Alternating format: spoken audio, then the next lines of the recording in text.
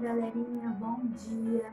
Estamos aqui para iniciar mais uma aula de arte e hoje nós vamos fazer o sorteio da nossa obra de arte da semana passada, que é a pintura do Van essa pintura que está aqui. Ela já vai ir com essa moldurinha, tá? Que eu mesma fiz. E é, depois a gente pode até ter um momento para aprender a fazer esse tipo de moldura, tá? Então, nós vamos fazer agora o sorteio para saber quem vai ser o vencedor que vai levar para casa essa pintura do Van Gogh. Então, quem assistiu a videoaula da semana passada direitinho, sem pular, sem avançar, descobriu o que era necessário fazer para concorrer a essa pintura aí. E agora, todas as pessoas que me passaram os nomes pelo WhatsApp, eu coloquei aqui nesse pote, E nós vamos agora, nesse momento, fazer o sorteio.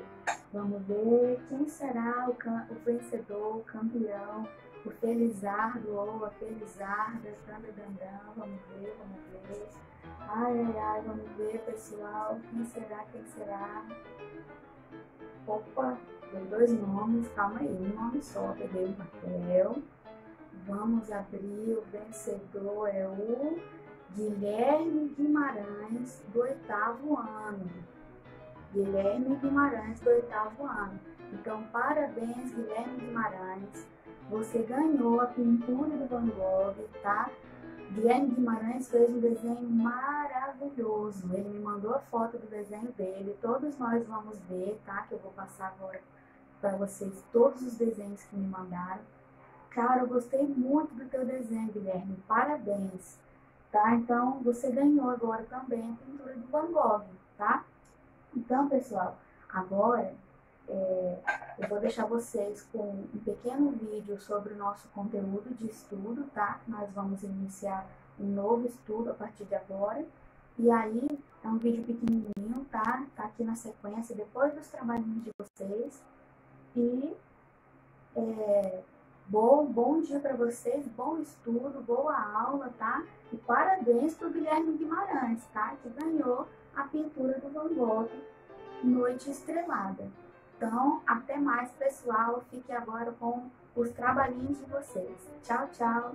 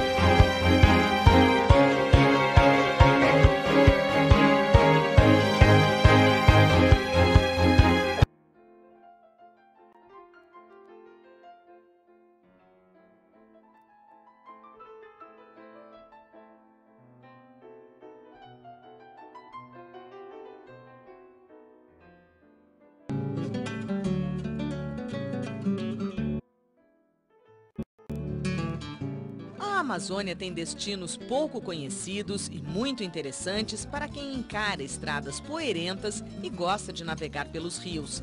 Partindo de Santarém, no Pará, cruzando o Amazonas, ficam cidades como Óbidos, de colonização portuguesa. No entorno de Alenquer, há cachoeiras como as do Vale do Paraíso, que refrescam o calor da floresta tropical. O volume de água aumenta bastante em época de chuva. A 45 quilômetros do centro está a Cidade dos Deuses. As rochas esculpidas pelo vento parecem construções feitas por humanos. O ar de mistério e magia se completa com as pinturas rupestres. Este patrimônio está nas mãos de particulares, sem proteção do Estado.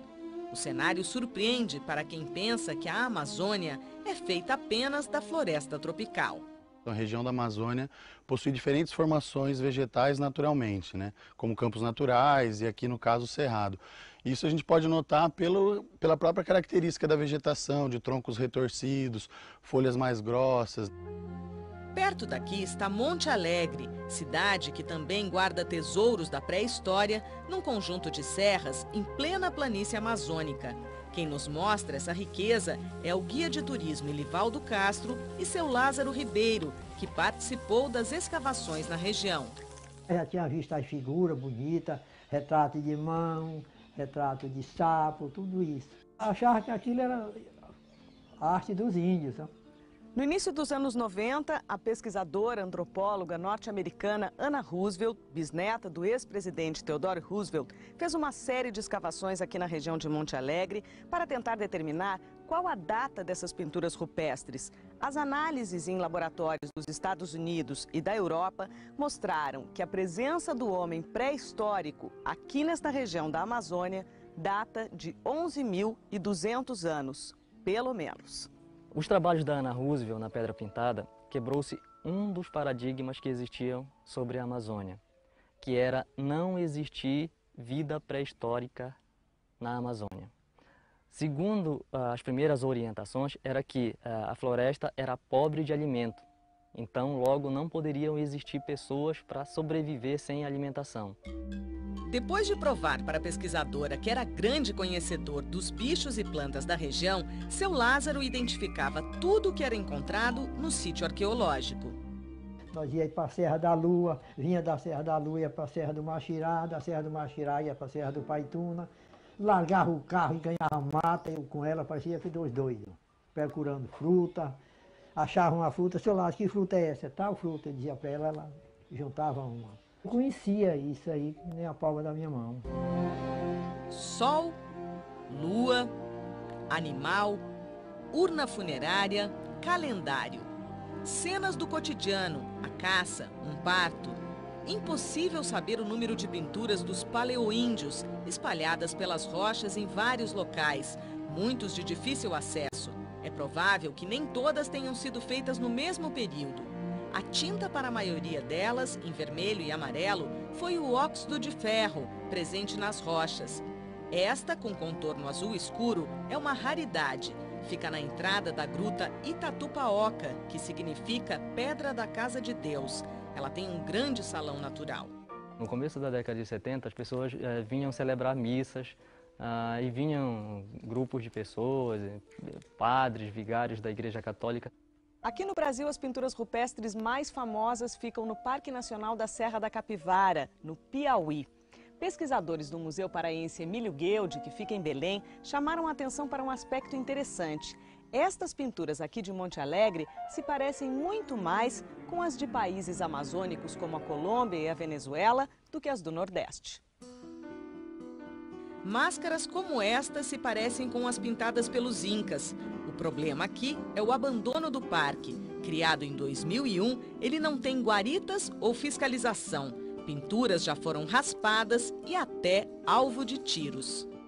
É uma pena que, mesmo depois de 10, 9, 10 anos da criação do parque, o parque ainda esteja, como vocês viram, ah, abandonado com praticamente inacessíveis, onde a gente tem que caminhar 2, 3 quilômetros a pé para poder chegar a ter acesso às pinturas. Eu espero que elas sejam conservadas pela importância histórica que isso tem. Pedra Pintada mudou a história da ocupação nas Américas.